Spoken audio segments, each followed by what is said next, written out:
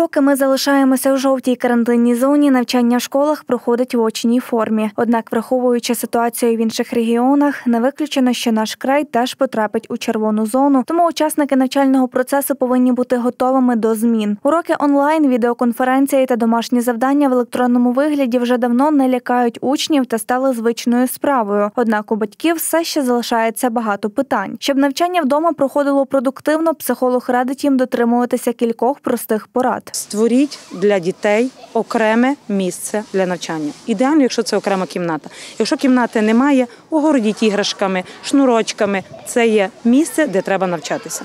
Правильний режим дня. Дитина має чітко знати, що вона навчається, вона відпочиває, вона виконує домашнє завдання, потім вона гуляє, потім знову відпочиває. Тобто дитина чітко, конкретно має знати, що вона має робити. Далі е, розробіть стратегію з дитиною, тобто виробіть план, як вона дитина має правильно навчитися. Провели уроки, дитина відпочила, далі вона береться за домашнє завдання.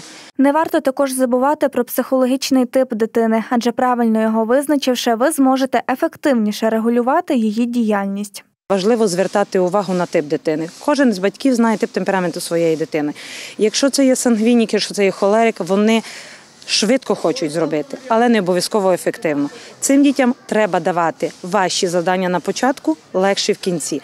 Якщо це є флегматик, якщо це є меланхолік, діти важче включаються в роботу. Їм треба спочатку дати легші завдання. Пізніше вони, коли вже включаться в процес роботи, дати серйозніші складніші завдання. Оскільки найменшим школярам найскладніше адаптуватися до цифрових технологій, то вони найбільше вимагають до себе уваги як учителів, так і батьків. Існує кілька простих способів підтримки, які не вимагають особливих зусиль, але значно допоможуть вашій дитині. Дуже хороший метод зеленої ручки.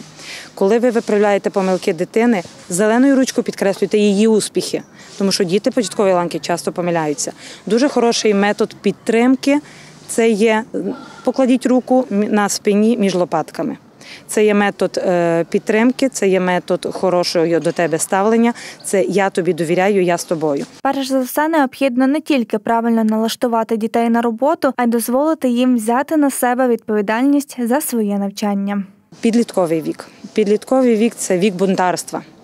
Вони хочуть бути самостійними, вони хочуть робити все самі. Дайте дитині можливість зрозуміти, що вона є авторитетом у сім'ї, що вона може організувати свій робочий час, вона може організувати своє робоче місце, вона може виконувати завдання, які вона собі поклала за ціль. Менше критикуйте, менше контролюйте, менше вставляйте свої постійні, а ти зробив, а я хочу бачити. Краще перефразуйте, чим я можу тобі допомогти.